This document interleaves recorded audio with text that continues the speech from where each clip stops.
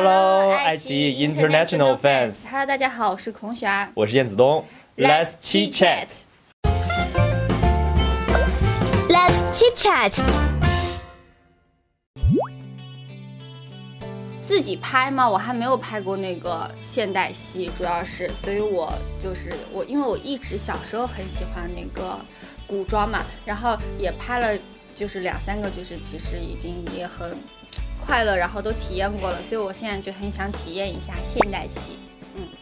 嗯，我是比较喜欢看古装剧，然后比较喜欢拍现代戏，嗯因为化妆很快。我想演警匪片，演那种香港《无间道》那样、哦那样感觉的，就是那种有斗争，然后那种很撕心裂肺那样的，嗯嗯嗯，眼神戏这样 很刺激。我是也是比较想拍警匪或者是悬疑类型的。嗯，对的，都喜欢。嗯我也是还可以。就是我觉得 NPC 这个设定还挺有意思的，因为经常玩游戏嘛，然后就是 NPC 一般都是站着不动的，然后这回你演一个活生生的 NPC，而且戏里边也有一场戏是那个我同时抓住他们两个，然后站在那里不动，然后他们两个在对话，在做做任务，我全程都要不动，一动不能动，然后我就看到不能眨，对，都挺好磕的，都都挺都挺好的，而且还有就是你可能跟这个人没有，他们也会给你们拉在一起。我有看《风起洛阳，阳风起洛阳我也看了，风起洛阳看了。我刚刚说，我一定得带着我的朋友跟我一你起得是一追剧，一堆人追剧，我得要分享，我得要说话吐槽，那我跟你是是相反的。啊，你喜欢一个人吗我必？须得就是想要认真看下去，必须得自己一个人看。这弹幕很搞笑，就是包括我看那个就是不动的那一条，然后还有就是弹幕很多人都是飘屏，他就想让你看到一模一样的问题，很多都是。还有像什么那个你化妆的很多地方，就有说他为什么脸画这么红，就大家代入感真的极强。嗯，就是那个美人脸上啊很红那场戏。嗯，还有刚开始我也是有一个，我记得给人家化妆，然后好像给人家画丑了。然后好像就是也有弹幕说他为什么这里要点一个痦字啊？他为什么这里 什么这样的也是挺挺逗的。这句话确实是挺挺感人的，就是看剧本的时候觉得这句话，它它像是一个整体前半部分很多内容的一个总结，因为也也是我是觉得是对齐冠一来说是一个他最后他临走前，就是把自己最想说的一句话，感谢他的一句话说出来。我觉得就是他就跟人一样的，有遇到自己值得珍惜，然后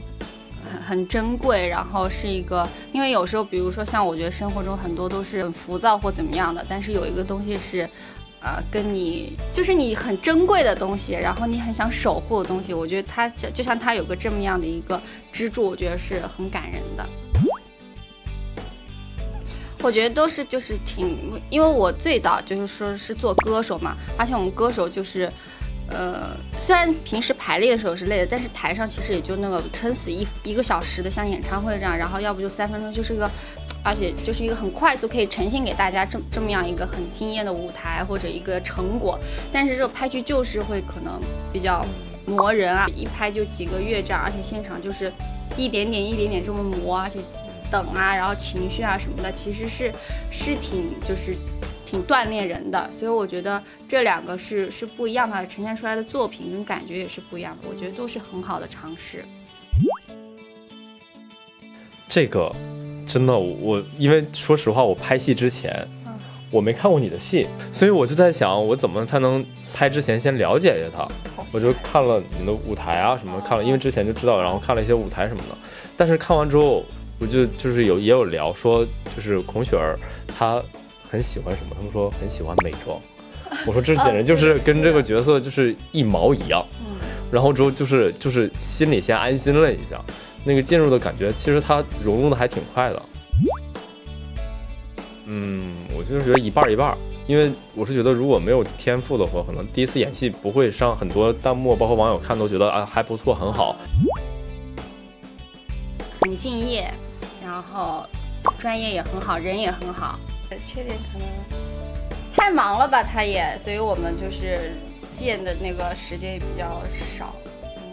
我觉得优点是，就是因为他很好相处，我觉得这个是个很大的优点。缺点的话，我觉得是爱美，他对就是自己的每一每一个地方都很要求很高。我觉得要求很高的时候，这个感觉这个地方可以没有必要要求那么高对，可以放松一点。嗯就有的时候太紧绷了。OK 的，挺愉快的很很好的。我我们那个剧组大家都大家氛围都很好，都很好。嗯成长就是我感觉就是有尝试一些很多不一样的事情吧，比如说拍戏啊，然后啊、也有以前是跟团体活动，然后最近也是自己活动，就是也是心态上什么样都有一个成长。现在自己也可以独当一面，就又进阶了一段这样。嗯我是觉得这一年过程中拍的每一部戏的角色都是不一样的，我觉得对我来说已经是很成长了那。个潇洒杀青的时候，我迟迟好难过啊，超级难过。我跟我好多朋友说，我说我很难过，有点走不出来。就还是是挺新奇的，因为我没有看过自己什么剪辑出来的这个样子啊，然后你是另外一个角色这样，所以都还是对于我来说，就是怎么样，我都是是抱着那种挺好的心态的。改变很大，会想的，其实我也会想。嗯，我们家有群，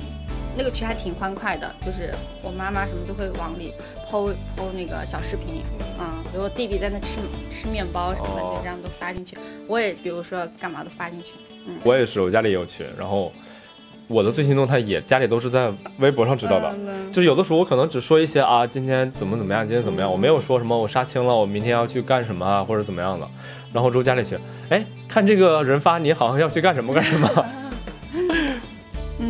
希望就是大家可以嗯照顾好自己的身体，然后做好这个防护的措施，然后也希望大家新年可以啊、快快乐乐的，然后赚赚大钱哟。呃，然后希望海外的朋友们都可以健健康康的，然后呃，希望大家也可以就是在空闲之余多看我们的新戏，然后多评论，多互动，嗯。